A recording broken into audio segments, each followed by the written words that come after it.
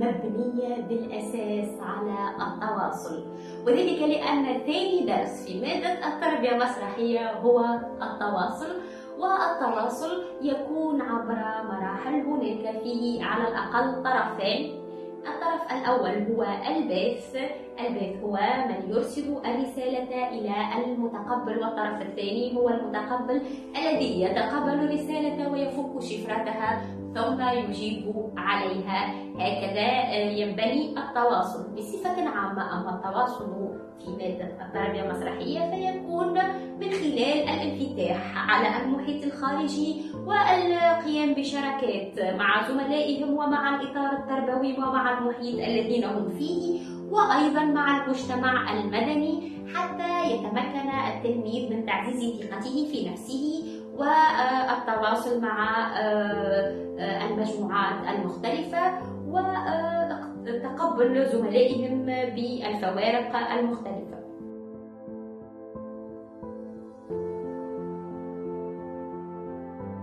حاولت إعداد تقنية في إدماج ذوي الهمم أو ذوي الحاجيات الخصوصية في التعليم العام وذلك لأن موضوع المسرح في الوسط المدرسي لديه أهمية قصوى لدى التلميذ بصفة عامة وللتلاميذ من ذوي الهمم بصفة خاصة.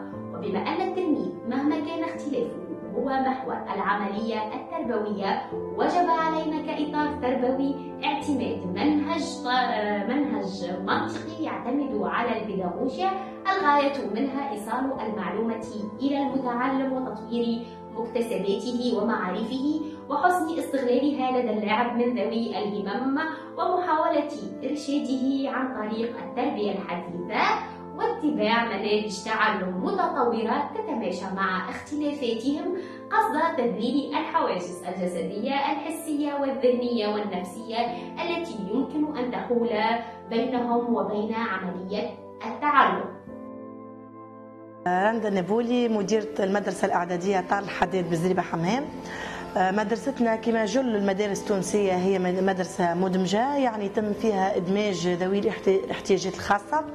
آه، وبالتالي آه، يعني التلميذ نسعى أن نوفر له بيئة ومناخ مناسب من أجل أنه يدرس في مدرسة يطيب فيها التعلم. دونك ذوي الاحتياجات الخاصة هذوما تكون عندهم حواجز تعرقل عملية التعلم تاعهم. وإحنا دورنا أن نذلوا الحواجز هذه ونرفعوها من أجل أنه التلميذ يدرس في بيئة مناسبة. هالبلا هالبلا هالبلا هالبلا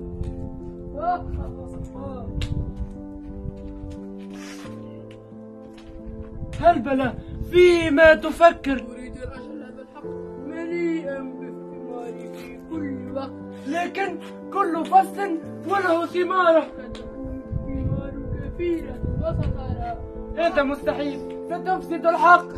هذا الدواء شجرة مليئا بالثمار دواؤك سيفسد المحصول. أنت لا تعرف شيئا دعني واشهد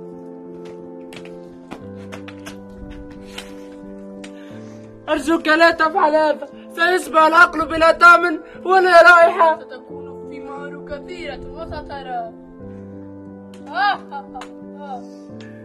أرجوك لا أرجوك لا أرجوك لا أرجوك لا أرجوك لا أرجوك لا أرجوك لا أرجوك لا أرجوك لا أرجوك لا أرجوك لا أرجوك لا